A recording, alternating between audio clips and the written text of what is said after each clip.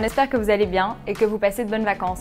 De notre côté, chez WeInvest, pas de pause, on continue sur notre lancée, c'est-à-dire à 200 à l'heure. Si vous êtes notre plus grand fan ou que vous avez récemment recherché un bien sur notre site web, vous aurez certainement remarqué qu'il a subi un petit lifting.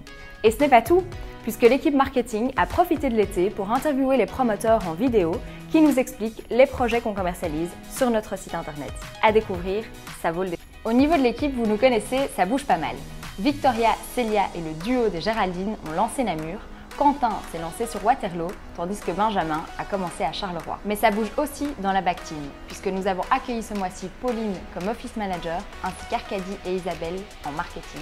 Comme ça commençait à faire beaucoup et qu'on voulait augmenter la qualité des services aux agents WeInvest, Louise, Arcadie, Sophie ou encore Aurore ont tourné les premières formations en ligne. Vous voulez découvrir ça?